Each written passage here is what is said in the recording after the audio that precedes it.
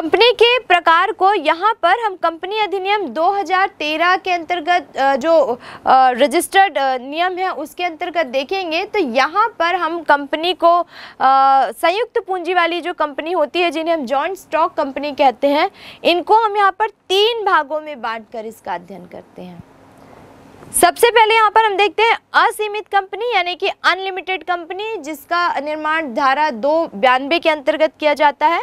दूसरा, गारंटी द्वारा सीमित company company limited by guarantee जिसका निर्माण धारा दो इक्कीस के अनुसार होता है और तीसरी तीसरा जो इसका प्रकार है वो है अंशों द्वारा सीमित company company limited by share, जिसका निर्माण धारा दो बाईस के अंतर्गत होता है। अब इसके अंतर्गत भी कुछ वर्गीकरण होते हैं। जैसे हम कहें कि जो अंशों द्वारा सीमित कंपनी होती है उसको भी आ, कुछ अलग अलग भागों में विभक्त किया जा सकता है। जैसे सबसे पहला पहली कंपनी होती है निजी कंपनी जिसे हम कहते हैं प्राइवेट कंपनी धारा दो आठ के अंतर्गत जिसका निर्माण होता है। और दूसरी जो कंपनी है वो सार्वजनिक कंपनी है जिन्हें हम पब्लिक कंपनी कहते हैं। और इसका निर्माण धारा दो इकहत्तर के अंतर्गत किया जाता है। तीसरी कंपनी की हम बात करें तो ये होती है एक व्यक्ति कंपनी वन पर्सन कंपनी एक अकेला व्यक्ति भी कंपनी कहला सकता है। तो इसका जो निर्माण होता है वो धारा दो बासठ के अंतर्गत होता है। तो ये कंपनी के प्रकार थे जिन्हें आगे हम और विस्तृत रूप में जानेंगे। तो आइए सबसे पहले देखते हैं कि निजी कंपनी क्या है। निजी कंपनी की जब हम बात करते हैं तो इसके बारे में हमको ये जान लेना ज़रूरी है कि निजी कंपनी जो है, वो भारतीय कंपनी अधिनियम 2013 की धारा दो अड़सठ के अनुसार इसकी स्थापना होती है। और यहाँ पर निजी कंपनी का अर्थ एक ऐसी कंपनी से है, जिसकी चुकता या प्रदत्त अंश पूंजी जो है, वो एक लाख रुपए और या फिर इस अधिनियम के अंतर्गत जो भी निर्धारित है, उन दोनों में से जो अधिक है, वो हो सकती है।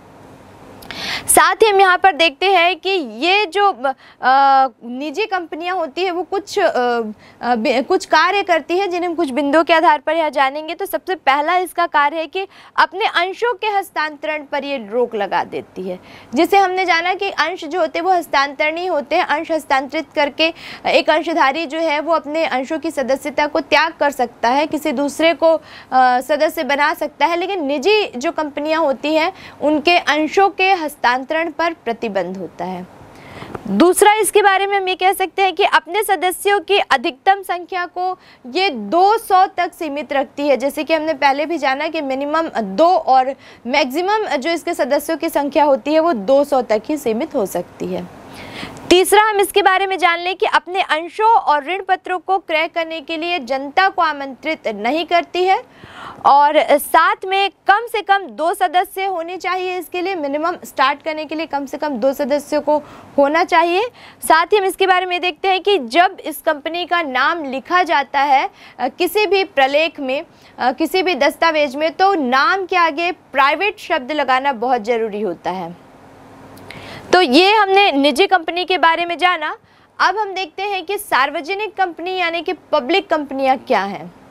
तो यहाँ पर हम देखेंगे कि भारतीय कंपनी अधिनियम 2013 की धारा दो इकहत्तर के अनुसार इनका निर्माण होता है और इसके अंतर्गत ये कहा गया है कि जिसकी चुकतांश पूंजी पाँच लाख रुपए या फिर अधिनियम द्वारा निर्धारित जो पूंजी है, दोनों में से जो राशि अधिक होगी वो मानी जाएगी।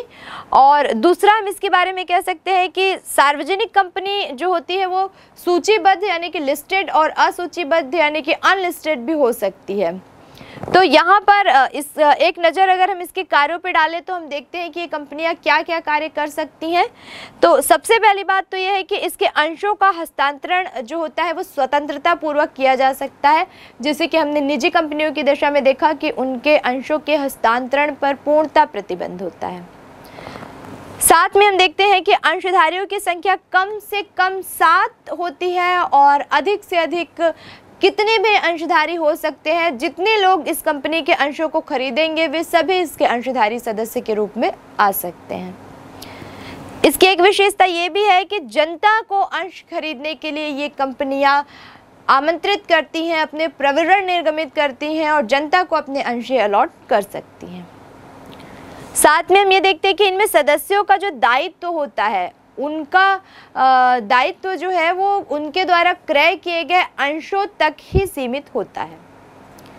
तो ये हमने जाना पब्लिक कंपनी के बारे में। अब हम देखते हैं तीसरा जो प्रकार है एक व्यक्ति कंपनी वन पर्सन कंपनी तो यहाँ पर हम देखते हैं इसके बारे में कि कंपनी अधिनियम 2013 के अनुसार ये बताया गया है कि केंद्र सरकार को अधिकृत किया जाता है कि वो एक व्यक्ति कंपनी की स्थापना कर सकती है।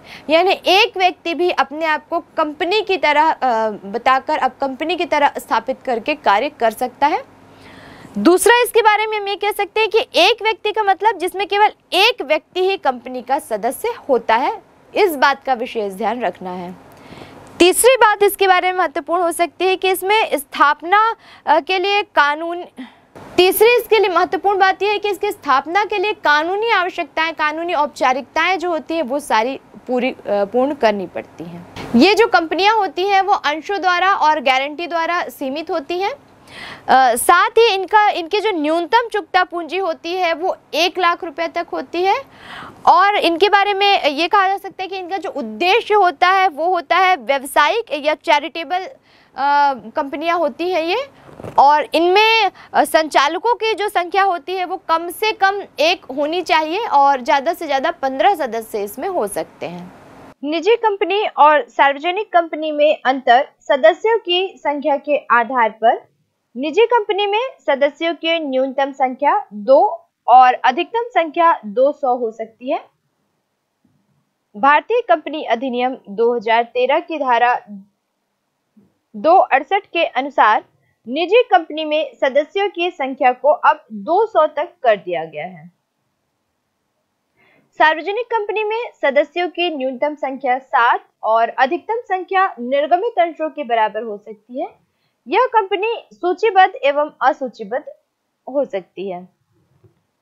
जनता को आमंत्रण के आधार पर निजी कंपनी अपने अंशों और ऋण पत्रों की बिक्री के लिए जनता को आमंत्रित नहीं कर सकती, जबकि सार्वजनिक कंपनी अपने अंशों व ऋण पत्रों की बिक्री के लिए जनता को आमंत्रित कर सकती है। अंशों के आवंटन के आधार पर निजी कंपनी सम्मेलन निजी कंपनी समामेलन के तुरंत बाद ही अपने अंशों का आवंटन कर सकती है, जबकि सार्वजनिक कंपनी अपने अंशों का आवंटन उस समय तक नहीं कर सकती, जब तक कि उसे न्यूनतम अभिदान की राशि प्राप्त न हो जाए। अंतर नियम के निर्माण के आधार पर निजी कंपनी की दशा में अंतर नियम का बनाना अनिवार्य है, जबकि सार्वजनिक कंपनी की दशा में अंतर नियम का बनाना अनिवार्य नहीं है। इसके अभाव में तालिका अ के नियम लागू होते हैं। प्रविवरण के निर्गमन के आधार पर एक निजी कंपनी को प्रविवरण अथवा स्थानापन्न प्रविवरण निर्गमित करने की आवश्यकता नहीं होती, जबकि सार्वजनिक कंपनी के लिए प्रविवरण के अभाव में स्थानापन्न प्रविवरण निर्गमित करना आवश्यक होता है। व्यापार का प्रारंभ के आधार पर निजी कंपनी समामेलन का पत्र प्राप्त होते ही अपना व्यापार प्रारंभ कर सकती है एवं उसे ऋण लेने का अधिकार, एवं ऋण लेने के अधिकार का प्रयोग कर सकती है। जबकि सार्वजनिक कंपनी समामेलन पत्र प्राप्त होने के पश्चात भी अपना व्यापार उस समय तक प्रारंभ नहीं कर सकती जब तक कि उसे व्यापार प्रारंभ करने का प्रमाण पत्र प्राप्त न हो जाए। वैधानिक सभा के आधार पर निजी कंपनी के लिए वैधानिक सभा बुलाना तथा रजिस्ट्रार के पास वैधानिक रिपोर्ट भेजना आवश्यक नहीं है, जबकि सार्वजनिक कंपनी के लिए वैधानिक सभा बुलाना और वैधानिक रिपोर्ट रजिस्ट्रार के पास भेजना अति आवश्यक है। इस वैधानिक सभा को व्यवसाय प्रारंभ करने के छह महीने के अंदर बुलाना ज़रूरी है। अंशों के हस्तांतरण के आधार पर निजी कंपनी में अंशों का हस्तांतरण स्वतंत्रता पूर्वक नहीं किया जा सकता जबकि सार्वजनिक कंपनी में अंशों का हस्त, के हस्तांतरण पर कोई प्रतिबंध नहीं होता। निजी कंपनी की दशा में संचालकों की संख्या न्यूनतम दो है एवं निजी कंपनी बिना केंद्र सरकार की अनुमति के संचालकों की संख्या में वृद्धि कर सकती है जबकि सार्वजनिक कंपनी में संचालकों की न्यूनतम संख्या तीन होती है। या केंद्रीय सरकार की अनुमति से ही संचालकों की संख्या में वृद्धि कर सकेगी। संचालकों को ऋण के आधार पर निजी कंपनी में संचालकों को ऋण देने के लिए केंद्र सरकार की पूर्व अनुमति लेने की आवश्यकता नहीं है, जबकि सार्वजनिक कंपनी में संचालकों को ऋण देने के लिए केंद्र सरकार की पूर्व अनुमति लेना आवश्यक है। प्रलेख फ़ाइल के आधार पर निजी कंपनी को रजिस्ट्रार के पास समामेलन के लिए आवेदन पत्र के साथ संचालकों की सूची, उनके लिखित सहमति तथा उनके साथ किए गए ठहराव आदि को आदि के लिए प्रलेख भेजने की ज़रूरत नहीं होती। जबकि सार्वजनिक कंपनी में रजिस्ट्रार के पास समामेलन के लिए इन सभी प्रलेखों को भेजना ज़रूरी होता है। प्राइवेट या लिमिटेड शब्द के प्रयोग के आधार पर निजी कंपनी के लिए अपने नाम के अंत में प्राइवेट कंपनी लिखना ज़रूरी होता है, जबकि सार्वजनिक कंपनी के लिए नाम के अंत में केवल लिमिटेड शब्द लिखना ही पर्याप्त है। तो बच्चों, जैसे कि हमने देखा कि जब हम कंपनी संबंधी लेखे करते हैं तो कंपनी के अंतर्गत जो सबसे महत्वपूर्ण बात हमको सुनने को मिलती है, वो है अंश। अंश यानी कि शेयर, जिसके बारे में हम संक्षेप में इसके अर्थ को लगभग जान चुके हैं। अब हम इसको विस्तार से जानेंगे कि अंश क्या है, इसके प्रकार क्या हैं, और अलग अलग अंशों के जो प्रकार होते हैं, किस तरह के होते हैं, क्या उनके लाभ हैं, क्या उनमें हानियाँ हैं। तो आइए सबसे पहले हम अंश के बारे में जानें। अंश यानी कि शेयर वास्तव में जब कोई कंपनी स्टार्ट होती है तो कंपनी को एक बहुत बड़ी मात्रा में पूंजी की ज़रूरत होती है। अब ये ज़रूरी नहीं है कि कंपनी का जो स्वामी है, उसके पास वो पूरी की पूरी पूंजी हो। तो वो अपनी इसी पूंजी की राशि को अलग अलग लोगों से छोटी छोटी मात्रा में छोटे छोटे टुकड़ों में एकत्र करता है। यही छोटे छोटे टुकड़े अंश कहलाते हैं, यानी कि शेयर कहलाते हैं, हिस्सा या भाग। अलग अलग भाग जो मिलके एक बहुत बड़ी पूंजी की राशि का निर्माण करते हैं, वही अलग अलग भाग शेयर यानी कि अंश कहलाते हैं। एक उदाहरण से आइए इसको और अच्छे से समझने का प्रयास करते हैं। जैसे कि मान लीजिए एबीसी कंपनी लिमिटेड एक व्यापार प्रारंभ करने जा रही है और इसकी, इसको जो पूंजी चाहिए, वो चाहिए लगभग इसको 10 लाख रुपए। अब 10 लाख रुपए इसके पास नहीं है, ये जनता में अपने शेयर्स बेचेगी यानी कि लोगों से के हिस्से को अलग अलग हिस्सों में वो शेयर बेचकर उनसे वो धनराशि एकत्र करेगी। अब इस कंपनी की जो 10 लाख रुपए की पूंजी है, वो कई हिस्सों में, अंशों में बटी हुई होगी। जैसे कि एक उदाहरण के तौर पर हम यहाँ पर देख रहे हैं कि मान लीजिए ये जो 10 लाख रुपए की राशि है, ये दस हज़ार अंशों में विभक्त है और एक अंश जो है वो सौ रुपए का है। तो इस प्रकार जब ये दस हज़ार अंश दस हज़ार अलग अलग लोगों, बहुत सारे लोगों में जो जितनी भी मात्रा में वो अंशों को ख़रीदना चाहे वो ख़रीद लेंगे और प्रति शेयर्स पर जब सौ रुपये प्राप्त हो जाएँगे तो कुल मिलाकर कंपनी को दस लाख रुपए की जो पूंजी की राशि है वो उसके पास एकत्र हो जाएगी। अब अगर हम अंशों के बारे में और अच्छे से जानने की कोशिश करें कि शाब्दिक रूप में हम अर्थ कि शाब्दिक रूप में हम अंश को कैसे परिभाषित करें? तो आइए इसके लिए हम कुछ परिभाषाओं को देखते हैं। न्यायाधीश लिंडले के अनुसार, पूंजी का वह अनुपातिक भाग जो हर सदस्य लेता है, अंश कहलाता है। Shri S N D P Yogam के अनुसार, अंश से आशय कंपनी की पूंजी में एक भाग से है। भारतीय कंपनी अधिनियम 2013 की धारा दो चौरासी के अनुसार अंश से आशय एक कंपनी को अंश पूंजी के एक भाग, अंश से आशय एक कंपनी की अंश पूंजी के एक भाग से है और इसमें स्कंद भी शामिल किया जाता है। तो आपने देखा कि किस प्रकार अलग अलग विद्वानों ने अंशों की अलग अलग परिभाषाएँ दी है। अब आइए हम देखते हैं कि अंशों की प्रकृति क्या है, यानी कि इनकी विशेषताएँ क्या है। किन विशेषताओं के आधार पर हम अंशों को और अच्छे से परिभाषित कर सकते हैं और अच्छे से समझ सकते हैं? तो सबसे पहली बात तो ये कि हस्तांतरित करने वाली संपत्ति है, यानी कि इसकी एक महत्वपूर्ण विशेषता ये है कि इसको ट्रांसफ़र किया जा सकता है। मान लीजिए, जैसे कि हम उदाहरण देख रहे थे कि एबीसी कंपनी के दस हज़ार शेयर हैं, जो कि सौ रुपये वाले अंशों में विभक्त हैं। अब इसमें से कोई एक व्यक्ति जो है डी वो इसके पाँच हज़ार शेयर्स को खरीद लेता है। तो पाँच हज़ार अंशों की राशि तक के लिए ये उस कंपनी में अपने अंशों को खरीदता है, उस स्थिति को वो ग्रहण करता है। अब वो चाहे तो इस पाँच हज़ार अंशों को किसी और अन्य व्यक्ति को बेच सकता है या हस्तांतरित कर सकता है।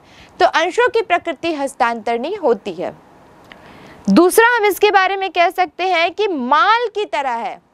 जैसे गुड्स, वस्तु जो होता है, जिसको हम माल के बारे में जब हम उसकी परिभाषा देखते हैं तो हम देखते हैं कि वह वस्तु जिसको हम पुनः विक्रय के लिए खरीदते हैं तो वो माल कहलाती है। ठीक इसी प्रकार अंशों को भी माल माना गया है। वास्तव में देखा जाए तो वस्तु विक्रय अधिनियम 1930 के अंतर्गत इसको माल के रूप में परिभाषित किया गया है। तीसरा यहाँ पर हम देखते हैं कि इसका क्रय विक्रय भी किया जा सकता है। अब क्योंकि हस्तांतरणीय है, माल भी मान लिया गया, यानी कि इसका आसानी से क्रय विक्रय किया जा सकता है। आगे आने वाले, इसी अध्याय में आगे आने वाले वीडियोस में हम देखेंगे कि किस प्रकार अंशों को खरीदा व बेचा जाता है। इसी तरह हम देखते हैं कि इसको गिरवी भी रखा जा सकता है। जिस तरह हम अपनी अन्य संपत्तियों को गिरवी रखकर ऋण लेते हैं, इसी तरह हम अंशों को भी किसी के पास गिरवी रखकर ऋण ले सकते हैं। तो ये तो बात करी हमने अंशों की प्रकृति के बारे में। अब इसके अपने आप में कुछ अलग अलग प्रकार भी होते हैं। तो आइए देखते हैं कि अंशों के कौन कौन से प्रकार होते हैं। अंशों को यहाँ पर मुख्य रूप से दो भागों में बांटा गया है। समता अंश यानी कि इक्विटी शेयर और पूर्वाधिकार अंश यानी कि प्रेफरेंशियल शेयर्स जब हम बात करते हैं समता अंशों की तो वो अपने आप में एकमात्र एक ही प्रकार के अंश होते हैं, साधारण अंश भी उन्हें हम कहते हैं। लेकिन अगर हम देखें पूर्वाधिकार अंश, यानी कि प्रेफरेंशियल शेयर्स की तो वो अपने आप में कई तरह के अंशों में विभक्त होते हैं।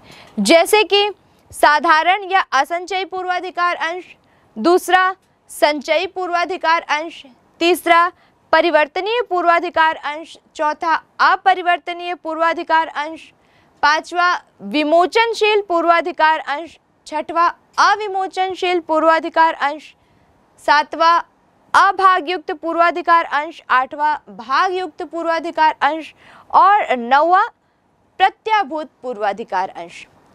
पूर्वाधिकार अंशों के इन विभिन्न प्रकारों को आगे आने वाले वीडियोस में हम बहुत अच्छे से एक्सप्लेन करके समझेंगे। फ़िलहाल हम यहाँ पर ये जान लेते हैं कि समता अंश क्या है। तो समता अंशों को ही साधारण अंश, यानी कि इक्विटी शेयर बोलते हैं। अब जैसे कि नाम से ही स्पष्ट है, ये वो अंश होते हैं जो साधारण होते हैं। हालाँकि इन पर लाभांश मिलता है पूर्वाधिकार अंशों की भांति, लेकिन इन पर लाभांश प्राप्त करने का पूर्वाधिकार नहीं होता।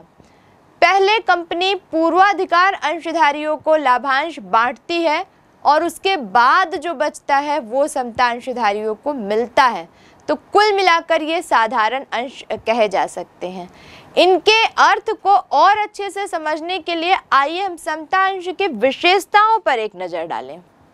तो समता अंश की विशेषताओं को हम देखें तो सबसे पहले इसकी विशेषता है कि इनको मत देने का अधिकार है।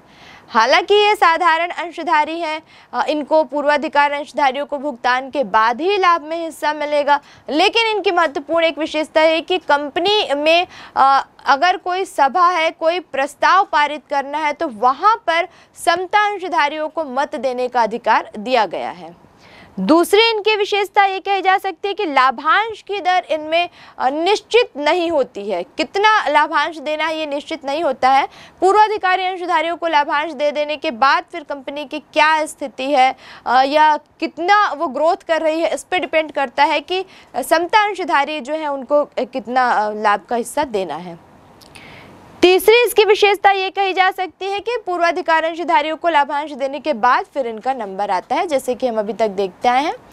ठीक, इसी तरह एक विशेषता इनकी है कि समापन पर जो लाभ का जो हिस्सा होता है, बची हुई पूंजी का जो हिस्सा होता है, वो भी इनको लास्ट में दी जाती, अंत में दी जाती है। पहले जो है पूरे जो दायित्व होते हैं देताएँ होती है उनका भुगतान कर लिया जाता है। और उसके बाद समापन पर सबसे लास्ट में इनको पूंजी की राशि जो है, वो वापस की जाती है। ठीक इसी तरह से भुगतान जो होता है वो भी इनको पूर्ण, जो पूंजी का जो भुगतान इनको करना होता है वो भी समापन के समय ही किया जाता है। एक इनकी महत्वपूर्ण विशेषता ये भी कही जा सकती है कि अगर कंपनी को किसी दशा में लाभ होता है तो प्रतिवर्ष लाभ देना इनके लिए अनिवार्य नहीं है। डिपेंड करता है कि कंपनी की आर्थिक स्थिति कैसी है, क्या उसकी स्थिति है, उस पर डिपेंड करता है कि उनको लाभ का हिस्सा दिया जाना है या रोकना है। ठीक इसी तरह इसकी एक विशेषता ये भी है कि समता अंशधारी ही कंपनी के वास्तविक स्वामी होते हैं क्योंकि वास्तव में हमने पहले भी देखा कि जो कंपनी का स्वामी होता है कंपनी का जो मालिक होता है वो कंपनी के साहसी के रूप में कार्य करता है। उसकी जो आय का, का जो उसका हिस्सा होता है वो एक्चुअली निश्चित नहीं होता है कि उसको कितनी आय कितना लाभ मिलेगा। वो अन्य साधनों को बांटने के बाद ही लाभ प्राप्त करता है। तो ठीक उसी प्रकार समता अंशधारियों की भी स्थिति होती है। पूर्वाधिकारी अंशधारियों को लाभ दे देना, उसके बाद बाकी जो देयताएँ हैं उनका भुगतान कर देना अगर समापन की कंडीशन है तो।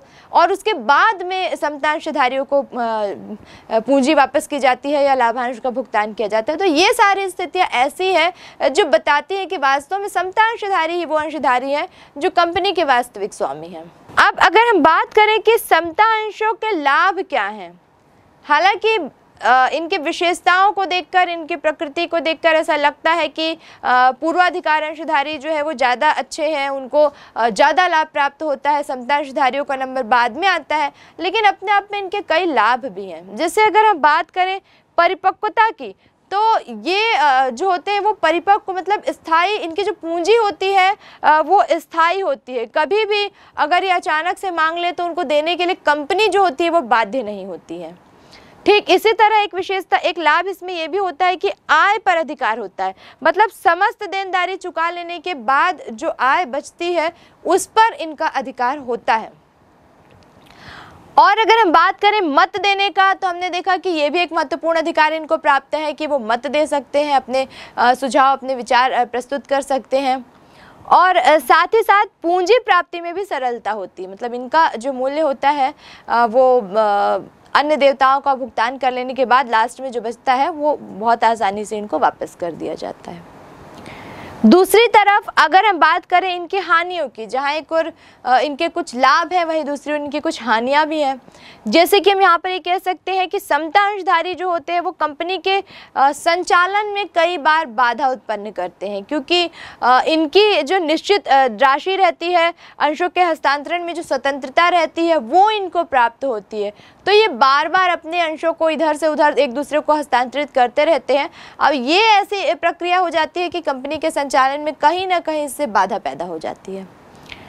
दूसरी हम बात करें यहाँ पर कि अंशों के निर्गमन की तो समता अंशों के निर्गमन में इतनी सारी वैधानिक औपचारिकताएँ, इतने सारे नियम कानून होते हैं कि समता अंशों के निर्गमन में कठिनाइयाँ आती हैं।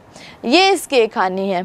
वैसे ही बात करते हैं लाभों की अनिश्चितता की तो जैसे कि हमने देखा कि पूर्वाधिकार अंशधारियों को लाभांश देने के बाद जो बचता है, या लेनदारों को भुगतान करने के बाद जो बचता है, उसको लास्ट में फिर जो बचे कुछ अमाउंट रहती है, उसमें से इक्विटी शेयर होल्डर्स जो होते हैं, उनको दी जाती है राशि।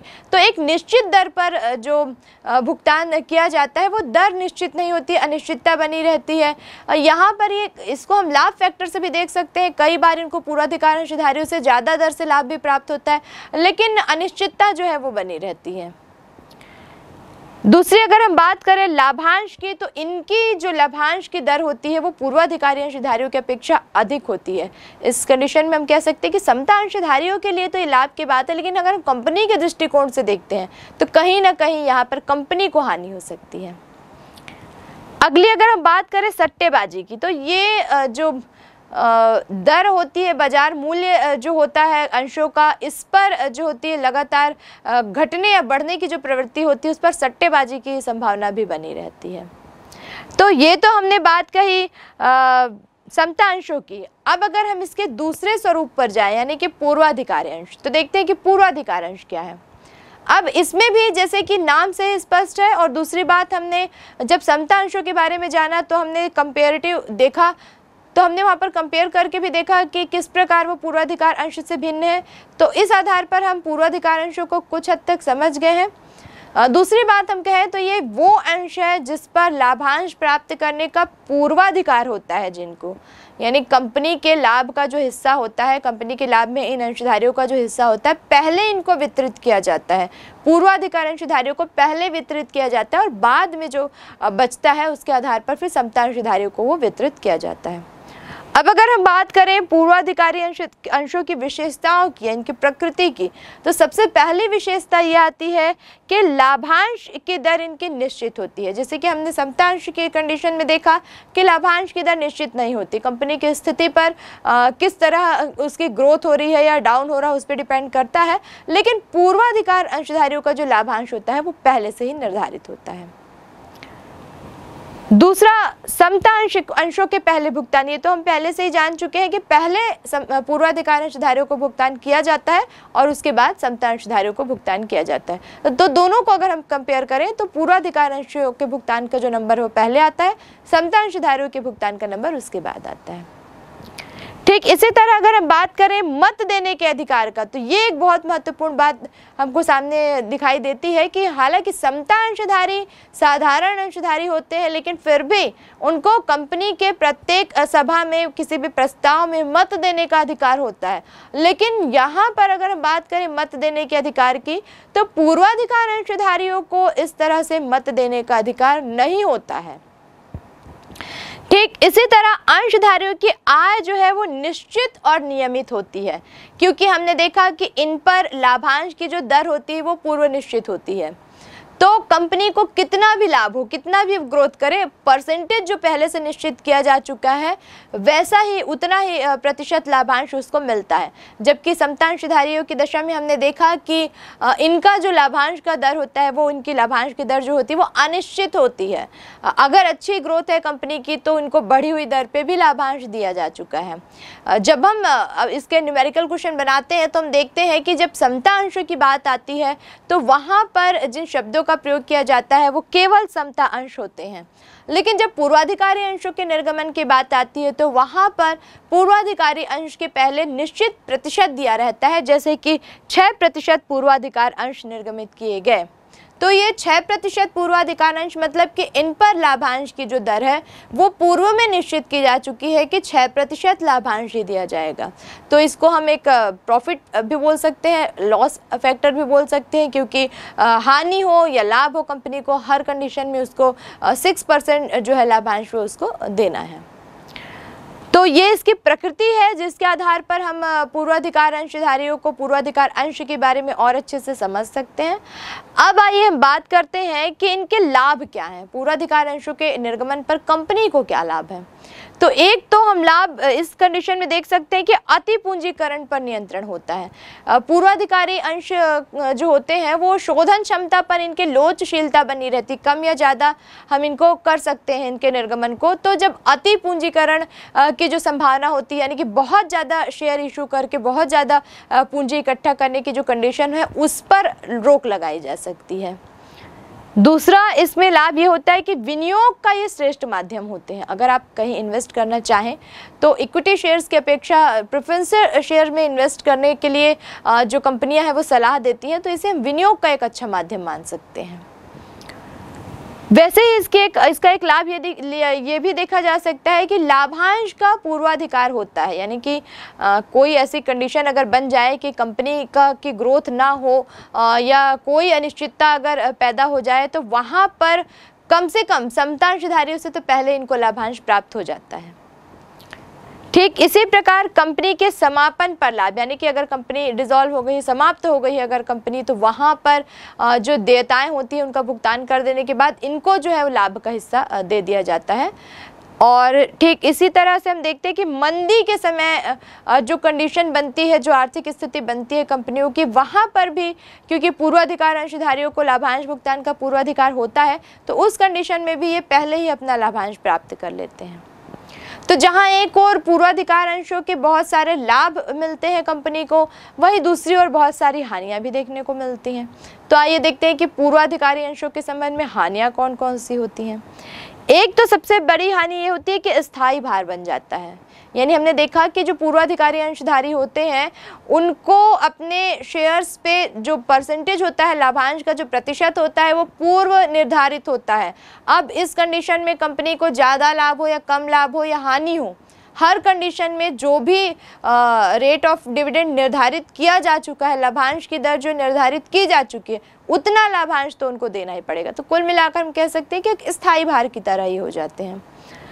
दूसरा एक लाभ यह कि समता अंशों पर जो लाभांश होता है वो इनकी वजह से कम हो जाता है या इनकी वजह से कई बार समता अंशधारियों को हानि भी उठानी पड़ सकती है या कम लाभांश प्राप्त होता है क्योंकि पहले पूर्वाधिकार अंशधारियों को भुगतान करना होता है।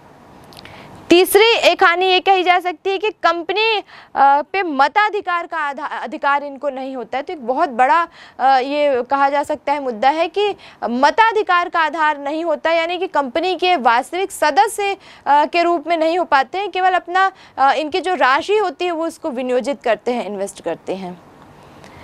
इसी तरह हानि ये भी है कि कम लाभांश मिलता है इनको। कई बार कंपनी को जब बहुत अच्छा ग्रोथ होता है कंपनी की बहुत अच्छी आ, उसको आ, उसका ग्राफ बढ़ता हुआ दिखता है तो वहाँ पर समतांशधारी जो होते हैं वो तो लाभ में रह जाते हैं क्योंकि उनकी जो दर रहती है वो पूरी निश्चित नहीं होती है। उनकी दर जो होती है वो कंपनी की ग्रोथ पर डिपेंड करती है कि कितना उनको लाभांश मिलना है। बढ़ी हुई दर पर, बढ़ी हुई ग्रोथ पर अगर कंपनी अच्छा ग्रोथ कर रही है तो उनको कई बार पूर्वाधिकारांशधारियों से कहीं ज़्यादा लाभांश जो है वो प्राप्त होता है। और ऐसी कंडीशन में जो पूर्वाधिकार अंशधारी है, उनको हानि का सामना करना पड़ सकता है, क्योंकि उनकी जो लाभांश की दर होती है, वो पहले से ही निर्धारित कर दी जाती है। तो ये एक हानि कही जा सकती है। अब जैसे कि हमने बात करी पूर्वाधिकार अंशों की हानियों की इसी तरह हम देख रहे हैं कि प्रबंध में भाग लेने का अधिकार भी इनको नहीं होता है। प्रबंध या संचालन में किसी तरह से भाग लेने का अधिकार, मत प्रस्तुत करने का अधिकार, सुझाव या राय प्रस्तुत करने का अधिकार पूर्वाधिकार अंशधारियों को नहीं दिया जाता। एक और महत्वपूर्ण बात आती है कि कंपनी के समापन की दशा में जैसे कि हमने देखा कि समता अंशधारियों को तो लाभ वहाँ पर हो रहा है, लेकिन इनको हानि होती है। क्योंकि इस कंडीशन में क्या होता है कि कंपनी के समापन पर सभी अंशधारी की पूंजी वापस करने के पश्चात अगर कोई राशि बचती है तो उसमें जो पूर्वाधिकारी अंशधारी होते हैं, उनको हिस्सा प्राप्त नहीं होता है, जबकि समता अंशधारियों को वो हिस्सा प्राप्त होता है। तो ये एक हानि की बात कही जा सकती है पूर्वाधिकार अंशों के संबंध में। अब अगर हम बात करें इनके प्रकार की तो जैसे कि हमने प्रारंभ में देखा संक्षिप्त में कि नौ प्रकार इनके बताए गए हैं। आइए इसको विस्तार से जाने कि कौन कौन से प्रकार हैं।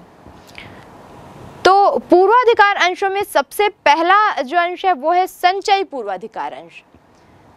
क्या होता है कि किसी वर्ष अगर कंपनी को लाभ नहीं हुआ तो उस वर्ष का जो लाभ का हिस्सा होता है, पहले से ही क्योंकि रेट ऑफ़ डिविडेंड निर्धारित हुआ रहता है, लाभांश की जो दर होती है वो पहले से निर्धारित हुई रहती है।